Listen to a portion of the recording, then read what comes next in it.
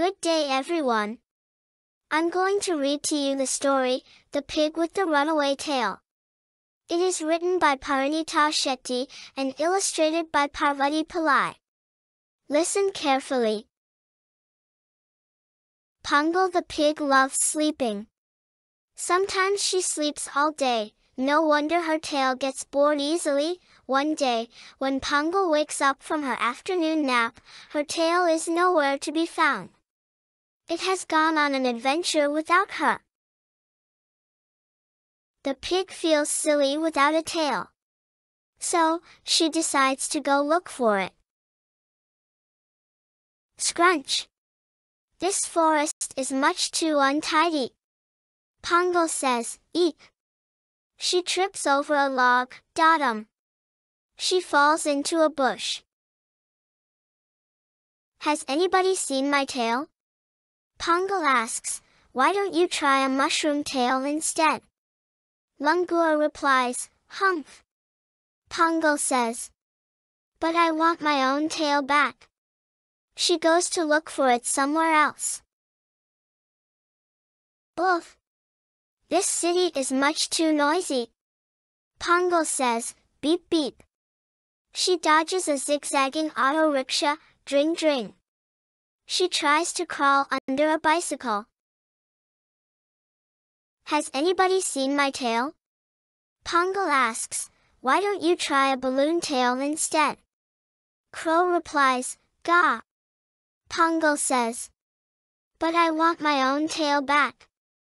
She goes to look for it somewhere else. Grumph! This cave is much too dark.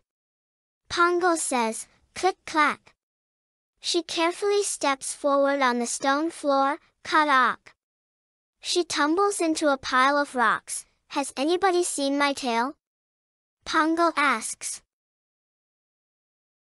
Why don't you try a stalactite tail instead? Bat replies, Uff. Pongo says. But I want my own tail back. She goes to look for it somewhere else. Has anybody seen my tail? Pongal asks. Splish splash. It's much too wet under the ocean. Pongal says, dum dum. Some colorful fish want to dance with Pongal. Whoosh. She hides behind some coral. Has anybody seen my tail? Pongal asks, why don't you try a seaweed tail instead? Turtle replies, ugh. Pongal says. But I want my own tail back. She goes to look for it somewhere else. Plunk. This desert is much too hot. Pongo says, Fush. She doesn't realize she is sitting at the edge of a dune, wump. She rolls all the way down to the bottom. Has anybody seen my tail? Pongo asks. Why don't you try a cactus tail instead?